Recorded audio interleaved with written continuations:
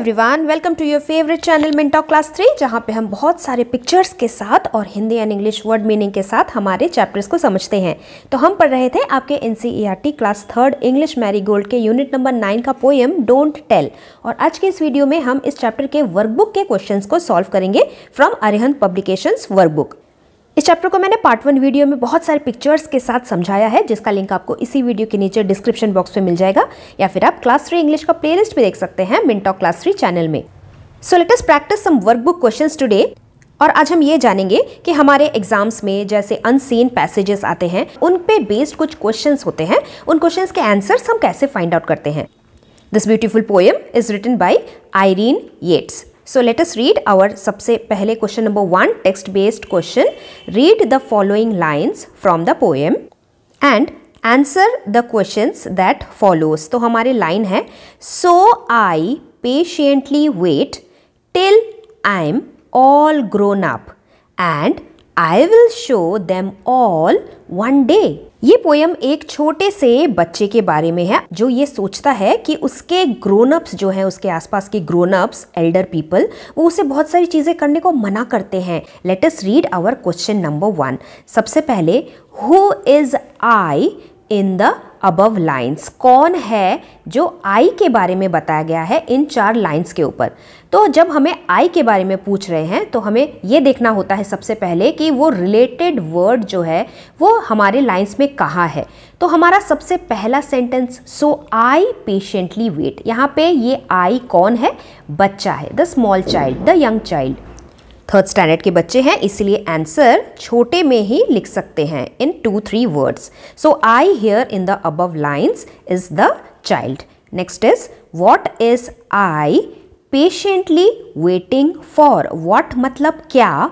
ये जो आई है, यानी कि बच्चा, धैर्यपूर्वक पेशेंटली वेटिंग फॉर वेट कर रहा है किसके लिए? तो वो भी हमारे सेकेंड लाइन में दिया है patiently wait till I am all grown up जब तक कि बच्चा ग्रोन अप नहीं हो जाता, तब तक के लिए। तो हम आंसर लिखेंगे हमारे क्वेश्चन से ही। आई इज़ अब क्योंकि क्वेश्चन में आई को ऐसे इन्वर्टेड कॉमास में दिखाया गया है, इसलिए हम भी आंसर लिखने टाइम वैसे ही लिखेंगे। I is patiently waiting for growing up बड़े होने के लिए। पढ़ते हैं next question who does them refer to refer मतलब किसके बारे में बताया गया है? इन द अबव लाइन्स तो जो लास्ट के दो लाइन्स है and I will show them all और मैं उन सबको दिखा दूँगा वन डे एक दिन।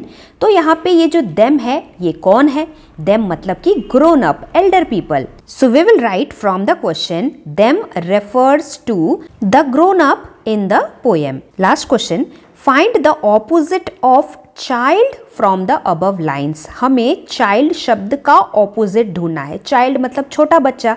इसका ऑपोजिट क्या होगा? बड़े लोग, और बड़े लोग को इंग्लिश में ग्रोन अप बोलते हैं। So our answer is grown up let us see our next question that is true और फॉल्स जो सही है, उसे हम टी फॉर ट्रू लिखेंगे, और जो गलत है, उसे एफ़ फॉर फॉल्स लिखेंगे। Number one is the child is not allowed to do two things ये जो छोटा बच्चा है ही इज़ नॉट अलाउड उसे इजाज़त नहीं है टू डू टू थिंग्स सिर्फ़ दो काम करने के लिए उसे मना करके रखा है। क्या ऐसा है? नहीं, बिल्कुल भी नहीं। उसे सारे काम करने को मना करके रखे हैं, जो बड़े लोगों को लगता है सिर्फ़ बड़ों का ही काम है, छोटों का काम नहीं है। Number two the child is given the reason the बच्चे को ये कारण बताया जा रहा है दैट कि वो he is not big enough कि वो अभी उतना बड़ा नहीं हुआ है।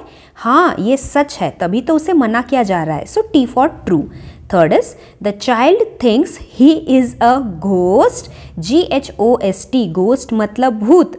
बच्चा सोचता है कि वो एक भूत है। नो दिस इज़ फॉल्स बच्चा सोचता है कि वो एक जायंट है अंदर से। बहुत ही विशाल है अंदर से। ये हम हमारे पोयम में ही पढ़ चुके हैं। So the statement is F for false next one is nobody knows that किसी को भी ये नहीं पता कि the child is a giant inside कि जो बच्चा है वह दिखने में भले ही छोटा है, लेकिन अंदर से वो बहुत ही बड़ा है, यानी कि उसके इरादे बहुत ही बड़े हैं और वो अपने आप को बहुत बड़ा महसूस करता है। So yes this is true and last one is the child waits बच्चा जो है, वो वेट करता है, इंतज़ार करता है पेशेंटली धैर्यपूर्वक अपने आप को काम रख के।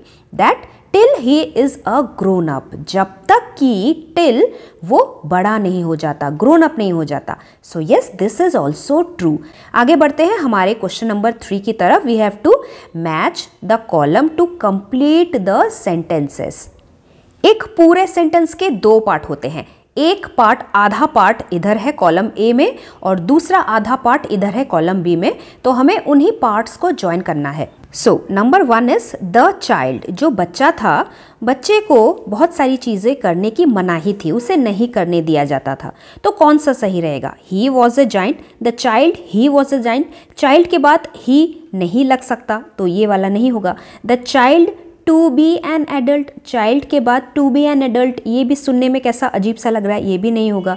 The child shows others that he could do things if he was given a chance भले ही बच्चा मन में सोचता है कि अगर उसे चांस मिला तो वो बाकियों को दिखा देगा। वो तो वैसे दूसरों को नहीं दिखा पाया, क्योंकि उसे चांस तो नहीं मिला। तो ये वाला भी सेंटेंस में नहीं बनेगा ठीक से। Then the child he was small फिर से चाइल्ड के बाद ही हम नहीं लगा सकते। उसके बाद लास्ट वाला देखिए। The child was not permitted to do a lot of things was not permitted उसे बिल्कुल भी परमिशन नहीं थी टू डू करने की अ ऑफ़ थिंग्स बहुत सारी चीज़ें। तो फ़र्स्ट वाले के साथ यही वाला अच्छे से मैच कर रहा है।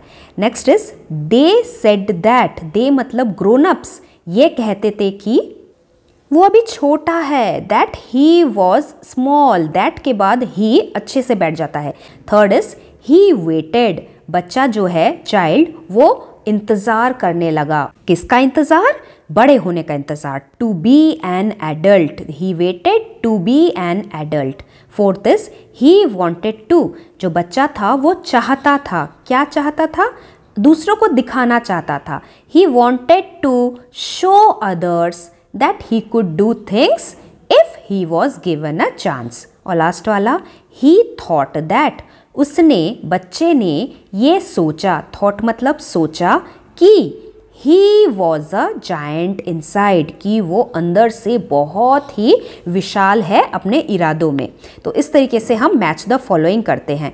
आगे हम पढ़ेंगे और करेंगे शॉर्ट आंसर टाइप क्वेश्चन जिसके आंसर वन और टू वर्ड्स के ही होते हैं। Number one why was the child not allowed to do a lot of things क्यों छोटा सा बच्चा अलाउ नहीं था? करने की उसे इजाज़त नहीं थी? बहुत सारी चीज़ें। क्योंकि वो बहुत छोटा था because he was very small let us read our next question number two what does nobody know about the child what मतलब क्या?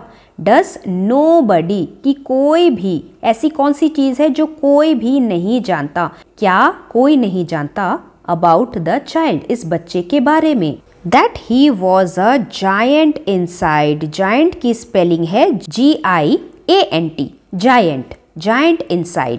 Number three what would the child do क्या ये बच्चा करता? If he was given a chance अगर उसे एक मौका दिया होता तो? तो हम हमारा आंसर क्वेश्चन से ही लिखेंगे। He would he would show his elders what all he could do कि वो क्या क्या कर सकता है। आगे हम पढ़ेंगे ग्रामर से related questions in language based questions number one write the opposites of the following word हमें उल्टे अर्थ वाले शब्द लिखने हैं। तो सबसे पहला है आई एन इन साइड मतलब अंदर की तरफ़। इसका उल्टा क्या होता है? अंदर का बाहर आउट होता है। O U T out S I D E side outside next is S H O W show मतलब दिखाना। दिखाने का उल्टा क्या होता है? छिपाना, जिसे हम इंग्लिश में बोल बोलते हैं H I D E hide next one is S O M E some some मतलब थोड़ा। इसका उल्टा होगा बहुत सारा, यानी कि M A N Y many next is B I G big big का उल्टा होता है S M A double L small next is nobody यानी कि कोई भी नहीं। और इसका उल्टा क्या होगा? हर इंसान, सभी सभी को हम बोलते हैं E V E R Y B O D Y everybody next question में हमें राइमिंग वर्ड्स लिखना है. Two words we have to write two words in the boxes that rhyme with the one mentioned in it box में जो word लिखा है, उसका rhyming word लिखना है. जैसे T H I N G thing thing का एक राइमिंग वर्ड ऐसा एक वर्ड जिसके लास्ट में एक तो जी होगा और जो सुनने में एक जैसा होगा।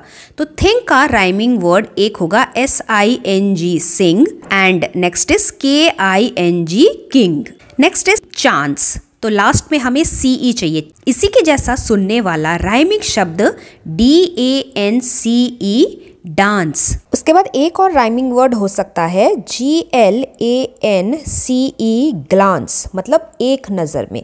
जैसे आप एग्ज़ाम के पहले तीन चार चैप्टर कैसे एक नज़र में देख लेते हो just before the exam so that is called having a glance at your syllabus तो ये ए भी है लास्ट में क्योंकि एन सी ही है तो इसीलिए ये चांस का राइमिंग वर्ड है, डांस। चांस एंड ग्लांस और लास्ट वाला जो वर्ड है दैट इज़ द जायंट ये एक न्यू वर्ड था आपके टेक्स्ट बुक में। इसका जो राइमिंग वर्ड है that also sometimes may be new word for you तो एक बहुत ही कॉमन वर्ड है C L I E N T client क्योंकि इसमें लास्ट में एंटी एंटी है, इसीलिए ये राइमिंग वर्ड है, सुनने में भी एक जैसे लगते हैं। क्लाइंट का मतलब होता है कोई एक इंसान जो कोई सर्विस लेने के लिए या फिर किसी सामान को खरीदने के लिए पैसे पे करते हैं। या फिर अगर कोई वकील के पास जाता है लॉयर के पास जाता है, कोई सजेशन लेने so that person is called a client ये जाइंट का राइमिंग वर्ड है। एक और न्यू वर्ड है that is also rhyming word R I A N T riant last में एन टी है. साउंड भी इसका जॉइंट के साथ राइम करता है. राइंट मीन्स शोइंग और फीलिंग प्लेजर और happiness and i'm sure this is also our new word only for you. Let us see our last question. We have our question number 3 write about two things ऐसी दो चीज़ों के बारे में लिखो that your parents जो आपके mummy papa can do but you can't तो सबसे पहला सेंटेंस हमें पेरेंट्स से स्टार्ट करना है। सबसे पहले पेरेंट्स कार चला सकते हैं। My parents can add a car but I cannot not उसके बाद my parents can use a gas stove but I can't यानी कि आई कैन नॉट मैं नहीं कर सकता, क्योंकि उसमें फायर होता है, काफ़ी डेंजर भरा काम होता है। So this was the last question of this workbook solution इसी तरीके के डिटेल एक्सप्लेनेशन के साथ हम यूनिट नाइन का चैप्टर पढ़ेंगे लेसन पढ़ेंगे that is he is my brother एक बहुत ही खूबसूरत सी कहानी along with lots of pictures Hindi and English word meaning so let's meet very soon till then thank you very much bye bye video अगर पसंद आया हो तो लाइक करना मत भूलिए and if you are new to this channel then please do subscribe the channel जिससे कि आप आने वाले वीडियोस के नोटिफिकेशन को मिस ना करें thanks for watching and do like, share, subscribe our channel Min Talk Class 3 for more upcoming videos.